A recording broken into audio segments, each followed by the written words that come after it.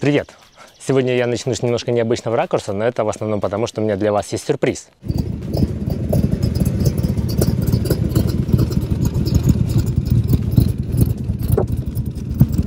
Было бы очень банально пошутить, что пауза две недели связана с тем, что мы спешили закончить наш проект и показать этот сюрприз.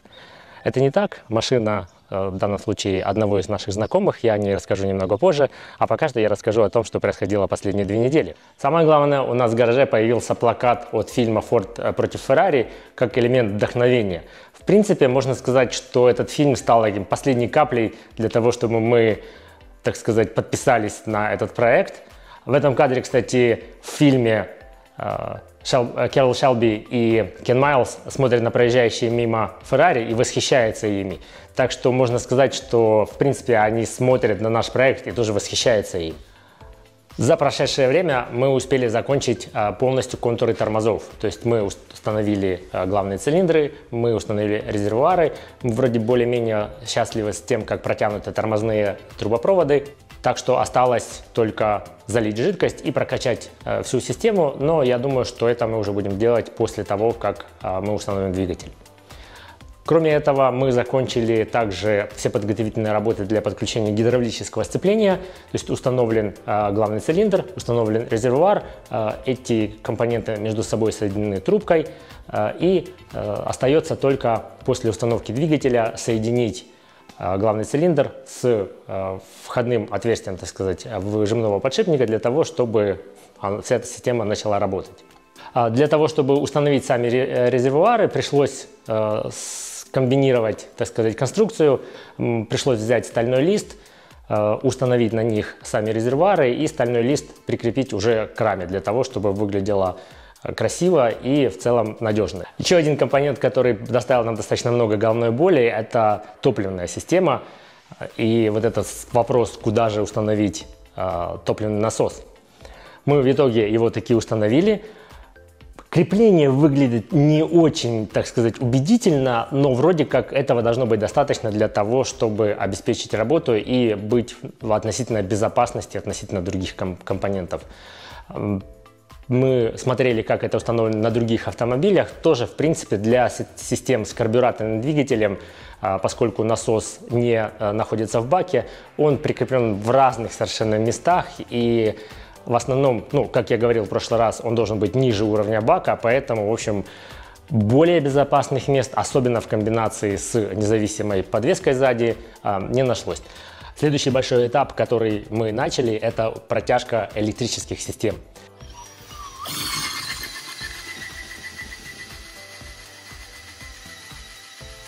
Мотки проводов достаточно большие, но на самом деле, когда начинаешь их прокладывать, то все выглядит не так ужасно. Я надеюсь, что в перспективе это не окажется там каким-то суперсложным процессом. Все провода подписаны, в целом понятно, что куда должно идти. Единственное, что, конечно, когда будет установлен двигатель, там понадобится большое подключение различных датчиков и проводов, которые идут к двигателю и его подсистемам, а, и это может занять какое-то время.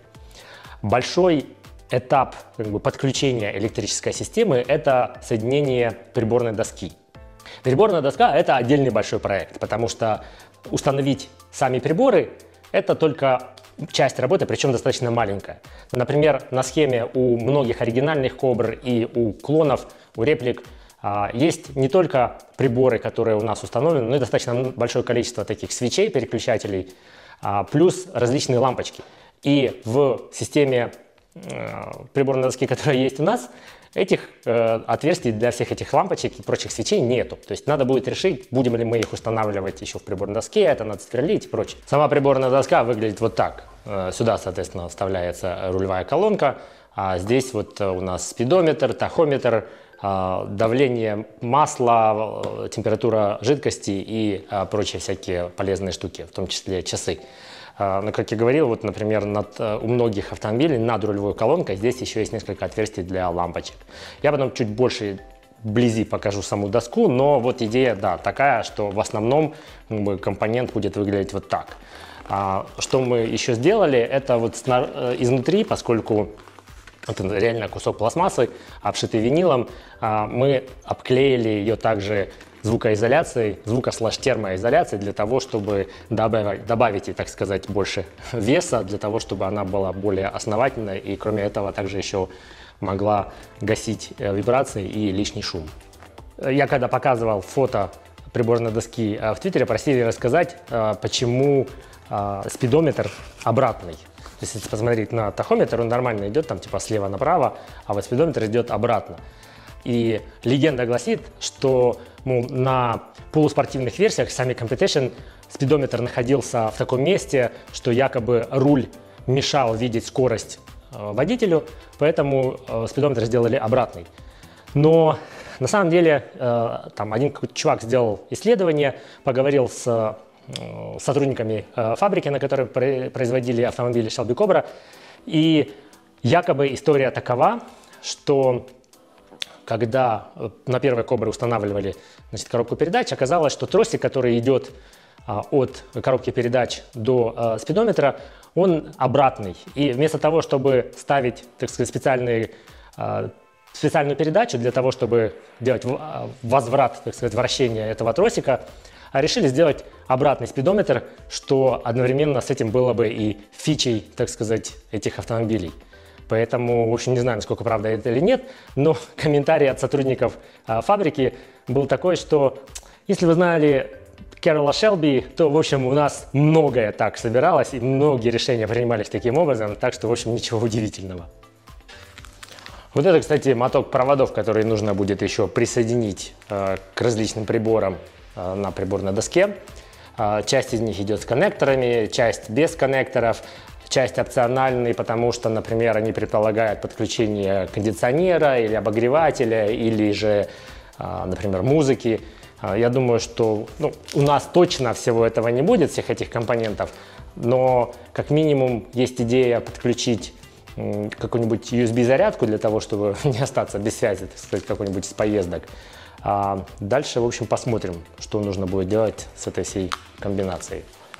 Из более мелких, но не менее важных вещей за последние две недели мы также продолжили установку алюминиевых панелей, обклеивание э, некоторых из панелей э, звука и термоизоляцией, а, кроме этого, я провел проверку всех на данный момент установленных болтов, а, проверку затянутых моментов на этих болтах, проверку того, что мы ничего не пропустили, потому что на самом деле а, у нас уже есть коробка из деталей, которые нам, скорее всего, не понадобятся кто-то меня в самом начале проекта спросил, типа, а не страшно как будет, если там какие-нибудь болтики или винтики останутся? Вначале было страшно. Сейчас, когда я вижу количество деталей, которые остаются, и это связано в основном с тем, что многие, скажем так, маршруты, пути или решения, они опциональны, мне становится гораздо спокойнее. И недавно я тут видел в Инстаграме, тоже чувак какой-то собирает проект, у него есть прям коробка с болтами, винтами, шайбами, гайками, э, которые у него остались от проекта, и он тоже такой, типа, из серии, ну, как-то немножко нервно, но, типа, ладно уж, типа, не понадобилось, так не понадобилось. Одна из важных вещей, которую мы наконец-то сделали, хотя, наверное, это надо было сделать с самого начала, мы сделали себе to-do-лист, такой список задач, которые мы планируем, там меняем порядок и откладываем на потом какие-то задачи. То есть у нас теперь есть список вещей, которые мы должны обязательно сделать до установки двигателя или после. Это не так важно. Главное то, что мы для себя эти задачи записываем и потом это помогает вернуться к ним и реализовать те вещи, которые мы э, должны будем сделать. Так что говоря о планах на следующую неделю, э, у нас, в частности, это продолжение подключения приборной доски. На следующей неделе должны приехать э, набор коннекторов, которые позволят нам избежать скручивания, спаивания и прочих соединений а, проводов. Кроме этого, важный момент – это настройка уровня педалей. А, это вот прям целая глава по этому поводу есть в инструкции. А, установка системы крепления аккумулятора спереди. Дело в том, что изначально предполагается, что аккумулятор устанавливается сзади, где-то примерно за водителем, но для упрощения системы Э, протягивания всяких различных проводов от аккумулятора к аккумулятору и с другими системами, а, рекомендуется переносить аккумулятор вперед. А я купил специальную систему крепления, которая позволит установить этот аккумулятор. Поскольку мы тянем электрическую систему, надо будет также подключить а, топливный насос, который установлен сзади за пассажирским сиденьем.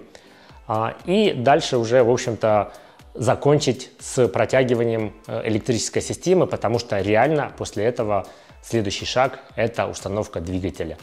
Кстати, об установке двигателя.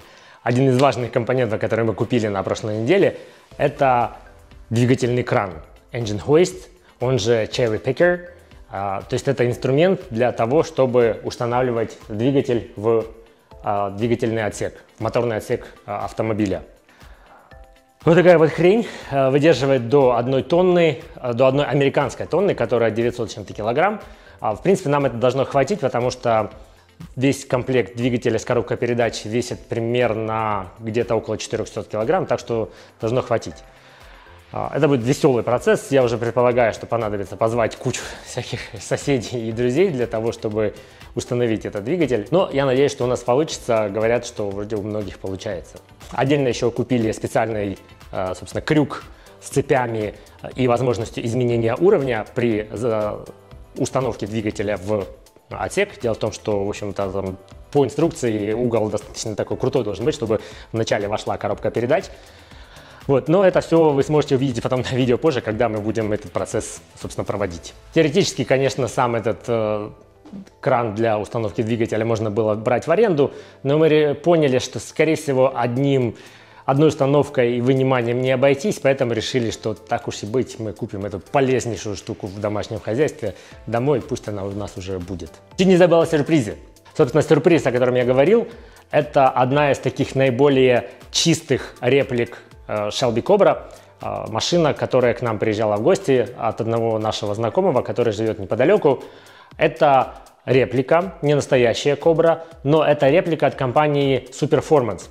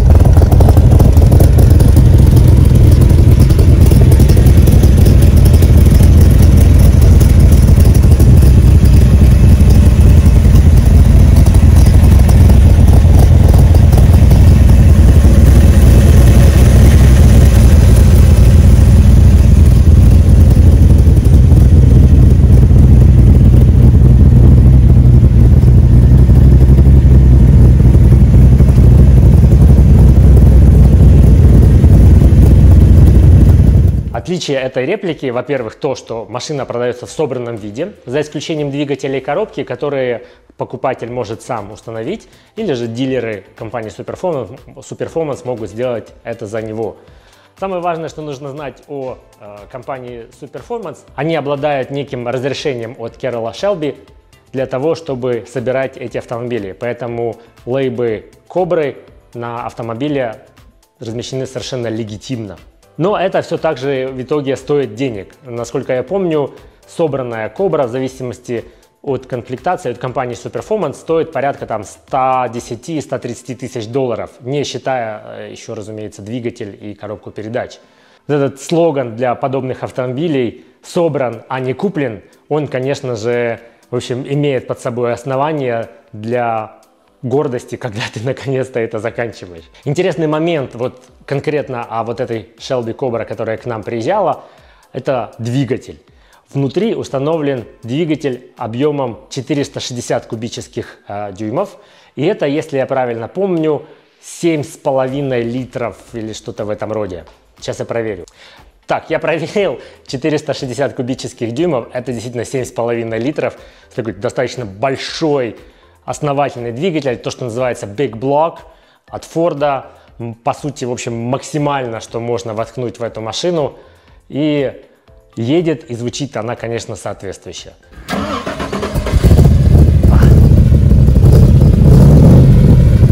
Для нас это, конечно, было таким неким тоже дополнительным фактором вдохновения, то, что мы понимаем, что на выходе у нас получится примерно то же самое, при этом мы его еще и сами построим, что, в общем, добавляет, конечно, гордости. И хочется надеяться, что это произойдет как можно быстрее. Так что мы продолжаем. нам стало еще гораздо более интересно заниматься всем этим процессом. Мы не останавливаемся, и вы продолжаете смотреть видео. Подписывайтесь. Пока!